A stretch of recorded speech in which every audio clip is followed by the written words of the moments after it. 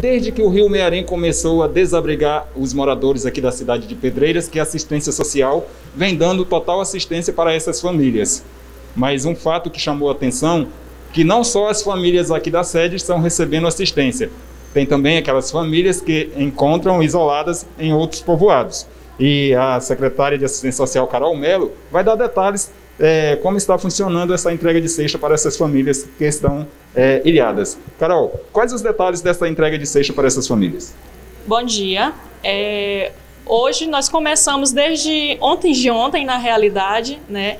Nós já fizemos em semanas passadas o cadastramento juntamente com as agentes de saúde de alguns povoados que estavam isolados, né? No momento a gente sabe que os rios, o rio ele baixou. Essas famílias elas não estão mais isoladas, mas tiveram alguns transtornos para virem à cidade para fazer a, a, sua feira, né? Os seus alimentos, a, a, os seus mantimentos. Então, com isso, a prefeitura municipal, né, preocupada em relação a essas famílias, é, nós estamos doando questão também da cesta básica para essas famílias que encontravam-se isoladas, né? Porque elas tiveram também suas perdas.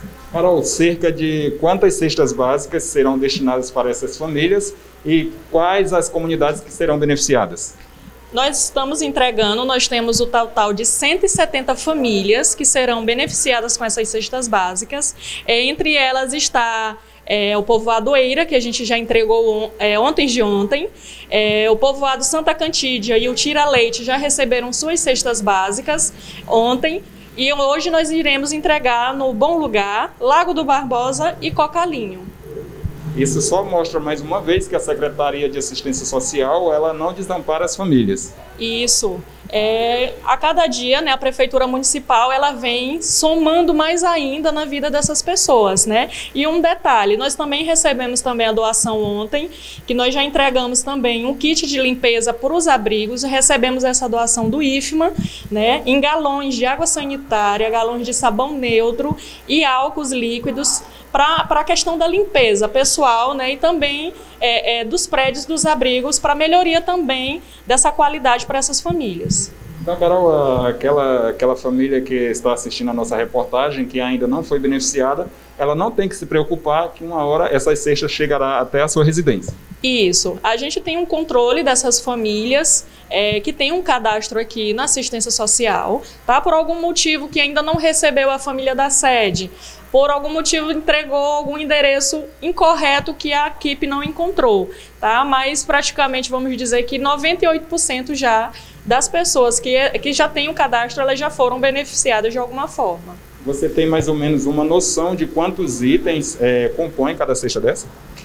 A cesta é bem grande, né? E ela de básica não tem nada, né? Mas é um é como se fosse uma cesta dobrada, né? Ela é bem sortida, né? As famílias estão elogiando muito, até a, a, a equipe do estado, né? Elogiou muito a questão da cesta básica, porque ela está muito bem sortida. Ou seja, enquanto essas famílias estiverem desabrigadas e isoladas, a Secretaria de Assistência vai dar total apoio. Isso. E a gente continua com apoio todos os dias, estamos entregando o pão e o leite.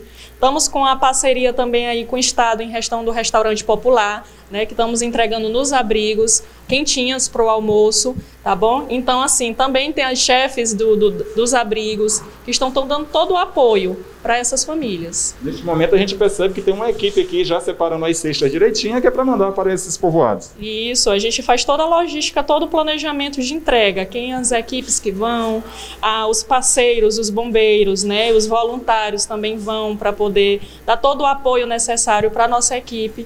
Aí tem como foi falado, né, tem toda a logística de quantas cestas são por família, né, a gente já teve esse apoio também das agentes de saúde em questão para a gente não esquecer nenhuma família. Então, não se preocupem que serão todas as famílias atingidas serão sim contempladas.